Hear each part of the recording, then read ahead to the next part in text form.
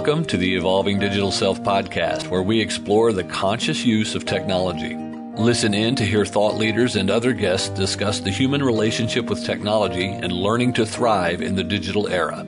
Hosted by the author of the international best selling Digital Self Mastery series and Being at Work, Dr. Heidi Forbes Öste. Welcome back to the Evolving Digital Self podcast. Today, I'm excited to introduce to you a good friend of mine, Mary Ann Pierce. She is the founder and CEO of Map Digital. And boy, does this woman know how to make meetings work in the digital age. Welcome, Mary Ann. Thanks, Heidi. I'm so excited to be on your podcast. Just to give everybody a little bit of background, I have to say, so I met Mary Ann through connections and other people and the wonderful world of digital that we had some mutual connections, but she brought me in for a conference in Poland. And boy, I have never been treated so well as a speaker in terms of just understanding the impact of your speaking, who's really responding to it, all of that feedback that we desire as a speaker. And it was just a very powerful experience to see meetings done well. And I would love for you to share with our listeners, because I think it's such a, an immensely changing industry, sort of your experience, what brought you to where you are now, and uh, how digital has impacted that. Oh gosh, that's that's well. First of all, thank you very much. Um, you are amazing to work with, and I think I must give a lot of credit to the organizers of Masters and Robots in Warsaw who curated the content and and many of the speakers. I did help bring some speakers, uh, you know, to help uh, augment, but it was also their respect and their real deep commitment to bring the very best in the the fourth industrial revolution of like with Davos, you know, with the Internet of Things and future of work. They curate the best conference, and that, that made a really great start. And what we've learned at Map Digital, you know, we've been in the digital the internet space of events for almost 25 years. So I'm a pioneer. What we've learned is, is that content at conferences is used, is thought as being ephemeral, but we see it as a digital asset. And we look at speakers as thought leaders. And thought leaders, what you're saying is enhancing, you know, your thought and your brand, but also by us associating in the conference with our speakers and making sure that they're incredibly well presented, you know, the AV and everything that's on site, but also the after the digital afterlife of the event that we in the conferences that we're also benefiting from your thought leadership to your network. So it becomes this mutual beneficial society getting those webcasts up right away making sure that your presentations are up on the website and people can engage in that content.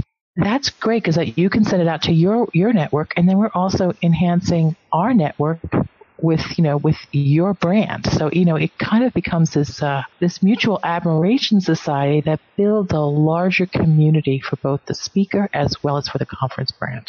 Yeah, and I mean it's just it's an incredible thing to see the evolution of that. I mean, having been a speaker for many years now, you know, it used to be basically in that moment, you do your presentation or you're at a conference and you see a presentation. And then, you know, if you don't capture everything in that moment, it's gone.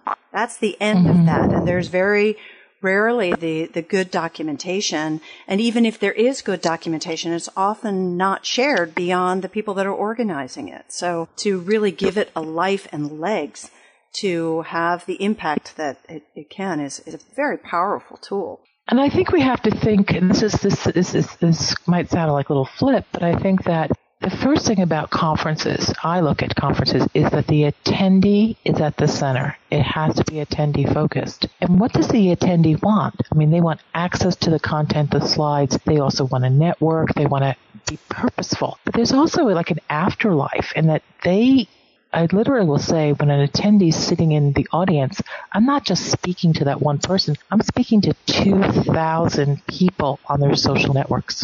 You know, that thought leadership getting out there, and especially when you're working with new innovative technology and sort of concepts, or we also do our pro bono work in diversity and inclusion. I want to get that message out there. So it's not just presenting it to that one person who voted with their feet physically to show up. But I also want to get that thought leadership and that investigation into a larger community via usually social media that will help us move the needle, that will help us create better futures. That's so great. it's really, you know, I commend you for what you guys are doing. What have been some of your favorite events to work on where you have seen that extension of the work that you're doing really have that uh, expansion of, of thought leadership that you desire? Oh, well, you know, we're just, you know, we just to, to give you full disclosure, I mean, we've been doing it for a long time, but in a real business to business way. And uh, uh, Map Digital has been working mostly out of New York, but now we're global. And when you work in New York City, you work with the financial institutions. And we went digital very, very quickly around 2000. And I'll give you a little background because uh, the SEC mandated that any publicly company, traded company that goes into a, a meeting or anything in the public, they say anything that might change their stock, and that information has to be disseminated live. So that made webcasting ubiquitous in all the conferences that we were doing for major financial service clients. So we got very familiar, like how digital content via webcasting or how they people shared uh, the slides and how they, you know, what they questions they asked. We were up in that, let's say that global village, that web space for a long time. And then once we developed our MetaMeetings platform as a purely scalable, robust system, a platform as a service, not just, you know, let's just knit some together some tables and go webcast. So it really is an engine. We went out to really not promote business to business, but thought leadership. We figured, you know, we, we're really, really uh, vested in the, uh, in making businesses very successful. Now let's see how we can go and help some of the some of the, the conferences of new ideas, as well as what we hold to be extremely precious is diversity, especially cognitive diversity. So we um, we volunteered to work with a conference that's based out of Ireland. That's called InspireFest, and it is a leading science, arts, and technology conference celebrating diversity. Uh, where over 50% of the speakers are women or of all makes and shapes and uh, a totally Irish fest because it has the arts, there's conversations, as we say in Ireland, good craic, and there's a huge, deep investigation. So they needed to, they're very well known in Britain, Ireland, parts of Western Europe. They wanted to come to the United States, and they're not very well known. So we said, gosh, how can we take a, we did a salon for them in New York. How can we take what content you've had before and what we're doing here in New York and let's just blast it out into the social media and to see how many people could we expose to the brand InspireFest, to the content, and especially to the speakers. And so we could move that needle on what their recognition was in the United States. And so we proceeded to do that. And we um, put all of our statistics into IBM Watson and came out with some pretty incredible, first of all, insights as well as reach. The content was stellar. It was delivered well and it traveled really far. So we were really happy about that. And it was very successful. And did it result in more people coming over to Dublin and uh, buying tickets?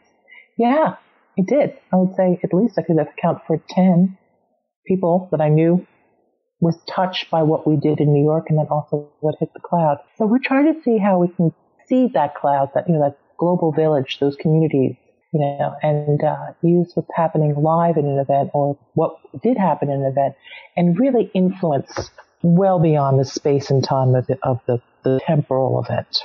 That's so great. Yeah. So what has been your sense of the feedback from either participants or in terms of what, what ways are they consuming the content differently?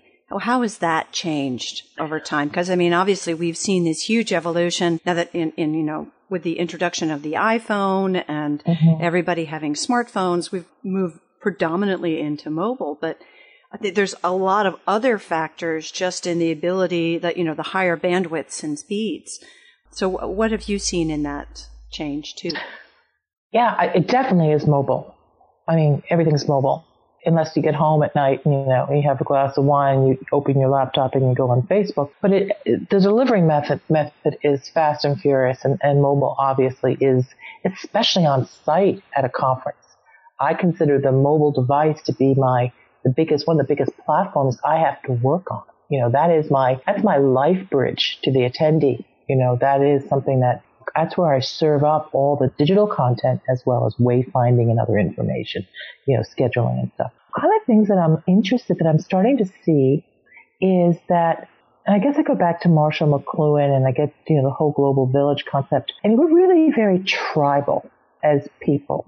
And I, what I saw from the InspireFest, especially since we we went out on um, on Twitter, on YouTube, uh, Facebook, heavily promoted by multiple people, and some of the speakers who were using their social network to get that content out. One speaker had has like 4,000 400,000 people like on LinkedIn or something. Something incredibly insane. So we were hitting huge networks.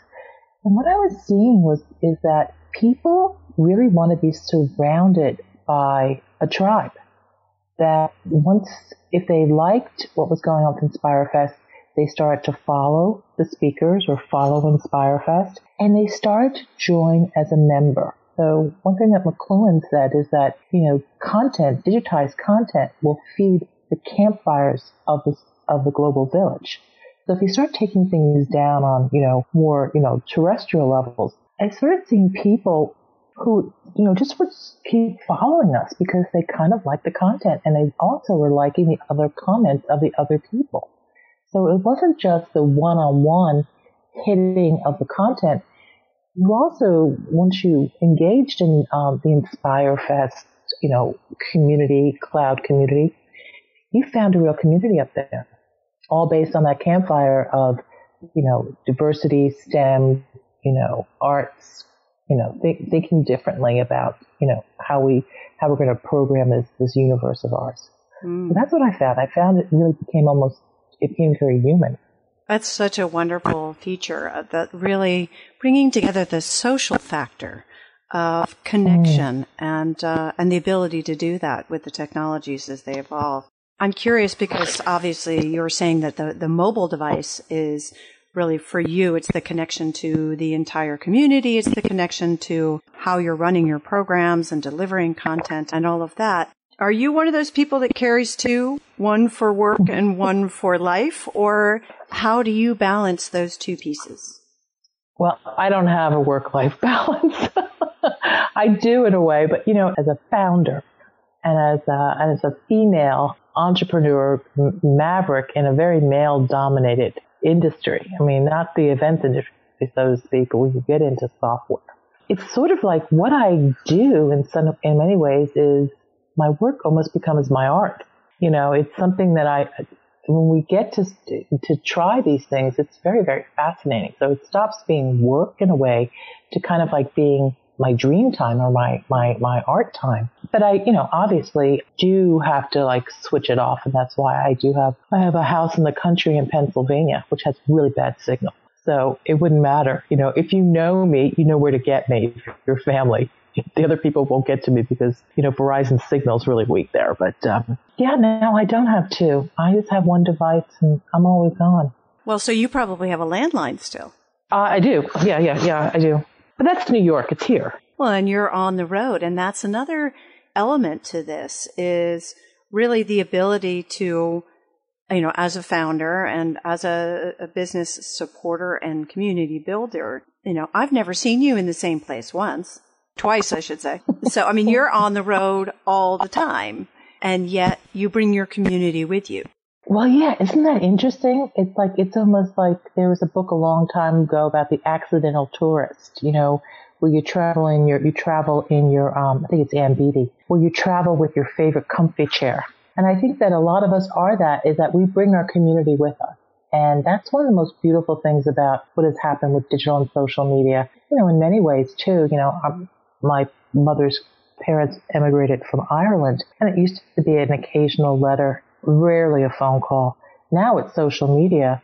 I know what they're naming the new cow. It's just amazing how it's brought our family and our community together. And it's always there. You know, I can always, you know, obviously I'll spend enormous amounts of time on Facebook, but when you do, I do it because it's basically to keep my community. Maybe that becomes my personal. I can see all the baby pictures and the Eagles won the Super Bowl. Yay! You know, like good stuff. I had to put that plug in. I'm a Philly girl at heart. yeah, I hear you. And, and uh, amidst all of that, of course, there's a question of being able to take care of ourselves and, and well-being. What do you use? Do you have any tools that used, you use to take care of your well-being? You spend a lot of time on your phone and on your computer and on the go and on planes and whatnot. Do you have any tips and tricks for road warriors that have you found have been successful for you? Oh, it's a really good question.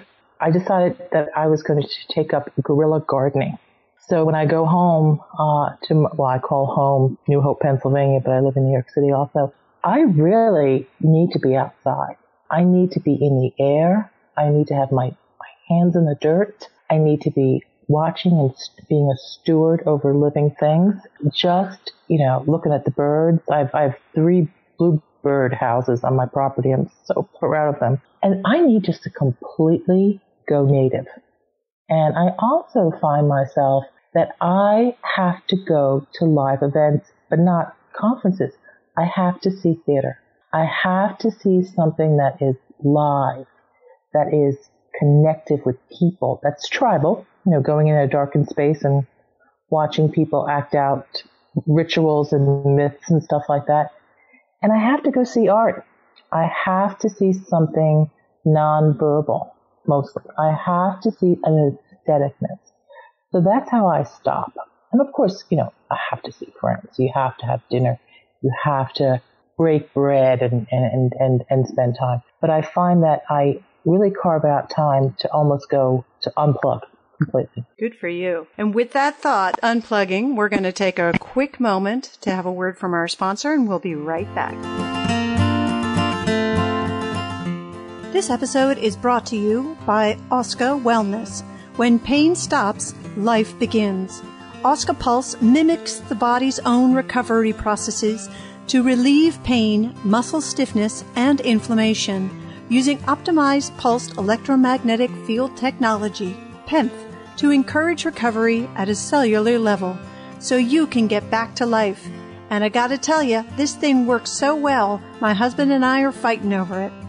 So I highly recommend you take a moment and try it out. They have all kinds of options for checking it out, and they've even given us an opportunity to share a discount with you $55 by using the 2BU code on the Oska Wellness site. You can check out the show notes to get more details. Welcome back to the Evolving Digital Self podcast. And today we have Mary Ann Pierce, founder and CEO of Map Digital. We're having a great conversation about the evolving event industry and ways to support it with digital means. We've been going through an interesting journey about talking about impact on self and the way you can grow communities and your tribe. We're also, I would love to hear a little bit more about some of your favorite stories of ways that you've seen digital change and change the way events really occur. You know, it used to be there was an event and a stage and you had to send out mailers and how have you seen sort of what has been the most drastic change that you've seen in the industry? Well, it hasn't really happened yet, but it's happening. It's really interesting is to me events follow retail you know, that people come to a store to do something. Okay. You know, that they vote with their feet is what I say. And you can see how retail's being disrupted. And in the event industry, they're still they're on the tipping point of a major, major push. And we're starting to see big mergers. UBM, uh, um, Informa just bought UBM, which is like, that's like, you know, what would be the uh, IBM buying Xerox back in the old days because they both have lost their valuation, but that kind of level of bigness what we are seeing is that there has to be a change in the mindset of the organizer, the person who's producing it, is what is an event. As far as the attendee is concerned, anything you give to them digitally, they'll accept. And what I mean by that is that we, when we do our conferences, it's not about, you know, doing the webcasting and collecting the PowerPoints, having an interactive conference website and digital signage and, you know, all that great stuff. We also provide the internet access, the wireless. And I will tell you, if you give them the access to hit the cloud, they will use every last drop of bandwidth and IP and they will shape their experience. The more you give them with the digital platform, as long as you introduce it, of course, you can't, you have to also, that's because you build it doesn't mean they're going to come. You have to integrate it within the whole body of, of the meeting. People will embrace it. And one of the biggest fallacies, and I keep hearing it still from very large companies, is that if you capture the session content, you don't have to do this live. Because at Masters and Robots, we had like a 12 hour delay. Okay. Because there was no reason to do it live. Because we didn't have an audience. We hadn't developed one yet. By sending out your content, that that will cannibalize on your attendee ticket sales. And I think that is to be a complete and total fallacy. I believe that by sending that goodness out into the cloud, you are seeding, you're developing influencers' interest who will then become attendees. You know, you're, you're by generosity sharing that information, that thought leadership, you'll start to increase your marketing viability. So I think that the, this, there's a dichotomy. The attendee would like to have everything at their fingertips and also personalized and served up to them because we know by the data that we've been collecting about you, Heidi, that these are the sectors that you're interested in, and we're already going to pre-register you for it because, you know, we just want to be able to, to please you. The organizers are still afraid that digital is going to eat their revenue. They don't really see where it's going to make them more money, and they really resist it. It's quite interesting because you see, you know, some conferences now will have sort of you can either sign up for it to attend virtually and then be able to get the live stream or have access to slides and videos later because it's a lot of travel is what it really comes down to and mm-hmm. some people choose not to attend purely because they don't have the extra day on either end to be able to travel to whether it's to Warsaw or whether it's to New York City. So I think that there's an interesting component there of sort of where's the balance where you're growing your audience and your tribe or whether it's actually cannibalizing your your event. It's interesting, but I think that there is a business model that maybe we don't that that, that really is the majority of the of the meetings industry, and that is the conference trade show.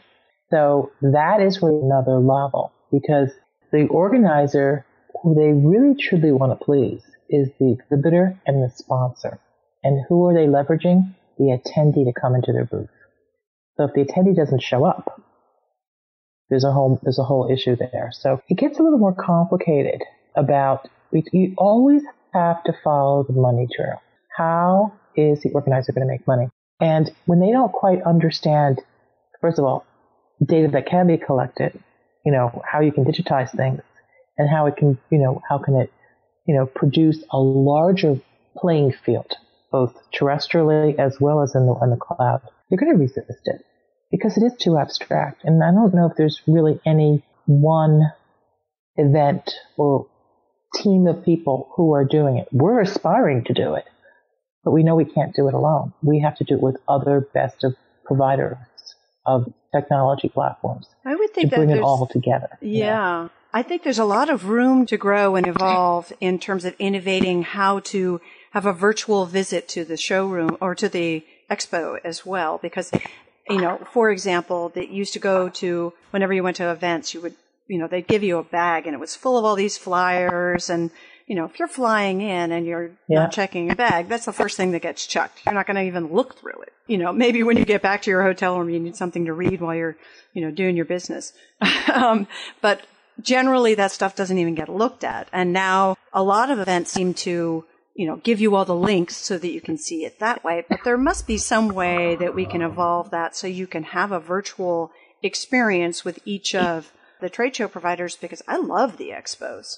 I mean, I think that's one of my mm-hmm. favorite things to experience is sort of see who's involved here and who's willing, you know, who's really interested in, you know, having a voice in this community. And to that note, there's the ways to engage the community. So I'd love for you to talk a little bit about you guys you used a particular app that helped people network pre and during event and I guess uh-huh. post event. So there's sort of, you know, those two things I think overlap a little. Can you talk a little bit about that? Yeah, I think that it was it's two points that you made that are great. And the first one is the one about, you know, trade shows and they want the people to show up. I would think I would challenge my industry to start looking very closely at what Amazon's doing. Amazon was a totally digital presence. But now Amazon's becoming a physical presence by the purchase of Whole Foods, as well as they have their Amazon store. So they've just done a flip. Okay. So if you can think about it, if the organizer keeps that data, that rich data collection of con- and serves up content and has a rich data portfolio on that attendee, essentially, it doesn't really matter eh, attendee or virtual attendee whether they come or not, because through analytics and meta tagging, then an organizer can say to those exhibitors, here are the people who came on site, who, who attended virtually, who are predisposed to be interested in your product, then you start getting into another level of monetization and it gets very interesting. But they don't do that. So they don't, because basically if they do, they might have 12 different technology providers on site who aren't integrated and it's definitely a Tower of Babel. So they're completely, they probably would love to do it. They just don't know how. They can't dig out of that, that hole yet. And then the other um, uh, question you asked is a, is a really terrific company out of London called Grip. Like, you know, you have a strong handshake grip. And uh, they were very generous uh, to provide their platform to Masters and Robots pro bono, because I asked them to, because I wanted to, to propel the success of that conference. And what they do is they, uh, attendees sign up for Grip. You can give your LinkedIn address, you know, whatever. Your really your email address becomes your your uh, personal identifier. And what they do, meaning GRIP, is that they use artificial intelligence to go through the 1,000 attendees at Masters and Robots and to see where there could be possible matches. So they're basically going for what your meta tag, does your meta tag talk to my meta tag? And if it does, maybe we should connect. So the first level with GRIP is that they match people. Then you get your own, you get your own portal, your own microsite on it, and they start suggesting people who are actually there on site that you might be interested in meeting. And they give you the reasons, and they give you like how strongly do you match. So it's kind of like a polite Tinder for the event industry, but it's pretty effective actually. And then the next step you can do is that you can connect with each other and you can talk to each other without exchanging email addresses. So you can still maintain a level of privacy if you choose. And the next step is that you can say, hey, let's meet up. And there's a, a you know, a section within the app where you can say, okay, I'll meet you at 5.30 at the IKEA or at the press table or at the, you know, and we set up certain stations within Masters and Robots where people could meet and they were meeting. And it was really, really interesting. So what that Grip does is two things. It puts the attendee at the center you are helping them to be very effective. When people go on, uh, on conferences, it's not just about the content, it's about the networking. So you're helping them navigate. Now, if it's 1,000 people, how about if it's 20,000 people? You know, you're really helping them shape the most maximum experience for them, how they will measure success. And that's just terrific. And the other thing that it does is that for the organizer, we collect the metadata. We collect the data uh, well, who was what was trending? Were people really interested in, in startups, IoT, uh, people who were you know who were general managers? We start getting really sociological as well as sector metadata, which really then informed and helped, let's say, bring deeper deeper resonance to uh, the analytic reports that we did later. And it's like if you, I believe that you continue to think what does my attendee want? How can I make their experience better? You're going to find a plenty, plenty of business applications that will be really great. You know, you bring up an interesting point with having these analytics and the connections. Uh, you know, imagine all of these different pieces that are digital. They require huge amounts of bandwidth and the ability to be online and connected simultaneously uh, with the event and you know, so how does that impact the choice of location and the partners in the process of developing these events? Because I would think, you know, some locations may be beautiful and wonderful, but you know, I've been to plenty of conferences where it was a complete fail because people couldn't get online. Well, I think first of all, I mean, I don't leave home unless I have connectivity. I just don't, you know. I mean, like, and if I don't, if I'm in the country, then the phone goes away, you know, into you know into the shed uh, until I can get a signal again. I think it's really, first of all, bandwidth does not cost that much. I mean, having robust bandwidth and wireless connection doesn't cost that much. And, you know, if the price has gone down, it's become a commodity. And organizers still do not understand that it's not just the food and beverage, it's not just the keynote speaker or the meet and greet cocktail reception. It's also how you can give that attendee what they need to do to continue to work, explore, meet, all under your brand, under your aegis. And, and believe me, I've been providing, our company was started as network services. So we've been bringing in bandwidth since like 1996. I mean, I used to throw Cat 5s over roofs so we could like extend internet from one building to another back in the old days. We called it SpiderNet, like Spider-Man. And I think it's ridiculous. I think it's short-sighted. And I've uh, been crying in my industry for over 20 years is that, you know, you have to, you have to give them the vehicle to the cloud. And then once you get to the cloud, once you get that, that conference to the cloud, there's unlimited real estate, unlimited opportunities for engagement, and unlimited opportunities for monetization. But they don't see it that way. They see there's a $10,000 cost that, oops, I can do without, and I'll put it in the cocktail party.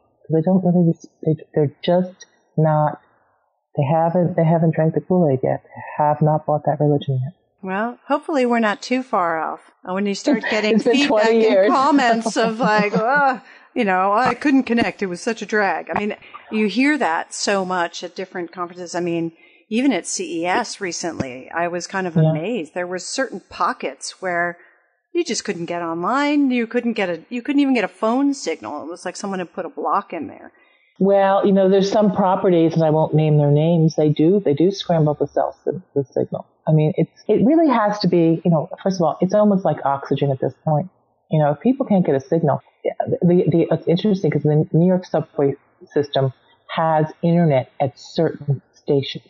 And then if you have a long distance between the stations, it cuts out. And it's like, you know, gosh, it was so great like two years ago to get it.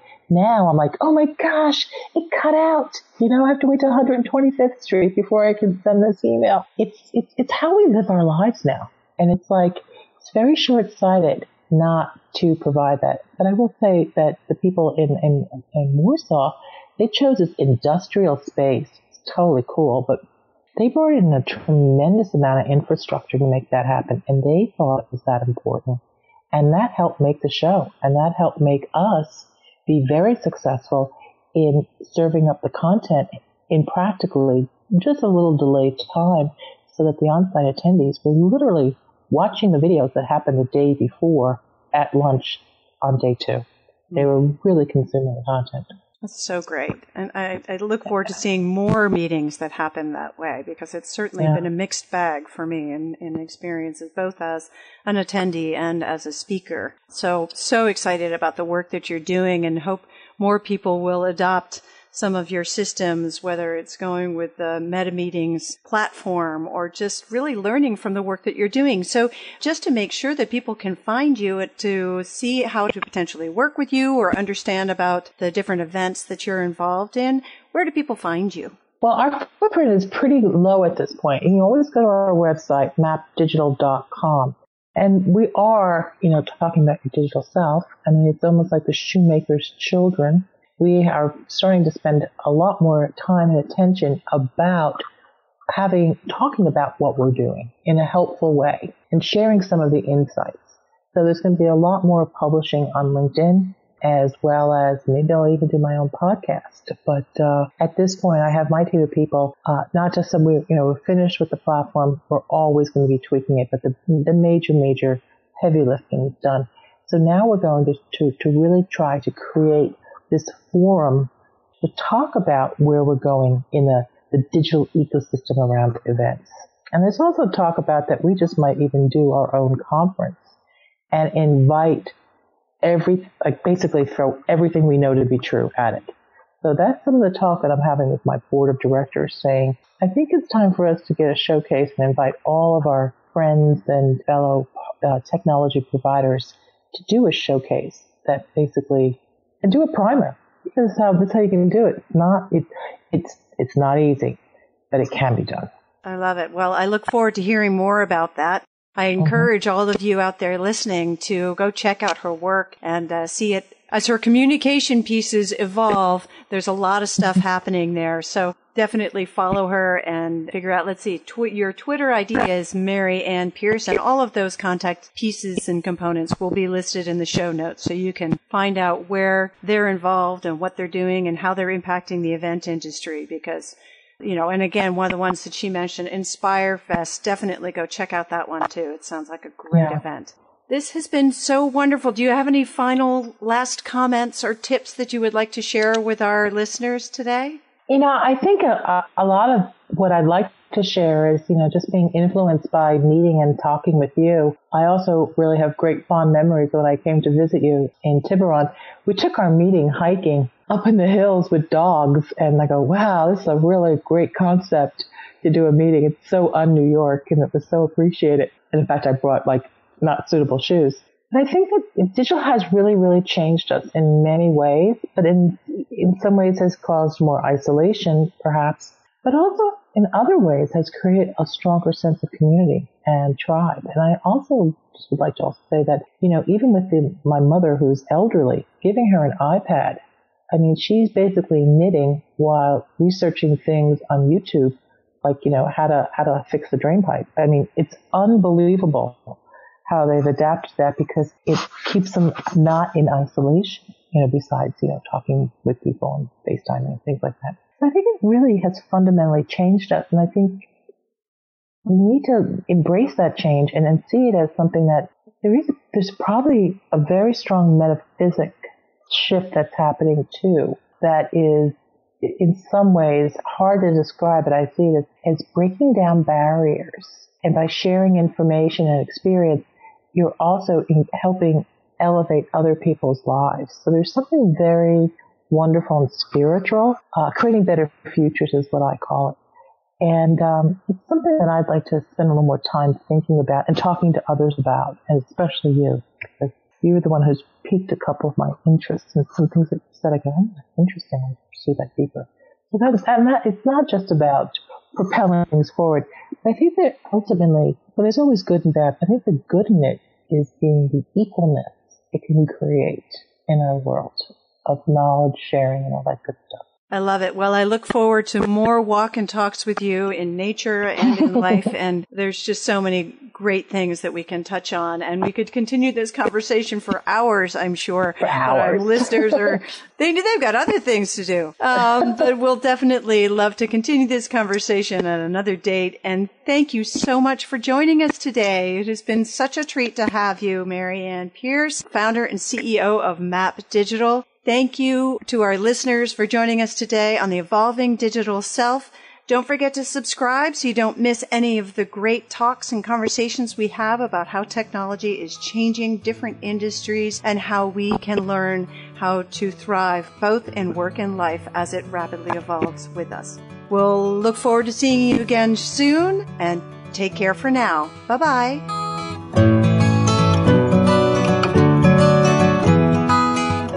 Thank you for joining us for the Evolving Digital Self. Be sure to subscribe on your favorite podcast app now so that you don't miss a single episode. While you're at it, please give us a rating and a review and join the digital self mastery movement to create more conscious use of technology by sharing it and telling your friends. Want to see where you fit on the digital self spectrum and how it might be impacting your business and relationships? Get your free copy of Digital Self Mastery today by clicking on the link in the show notes.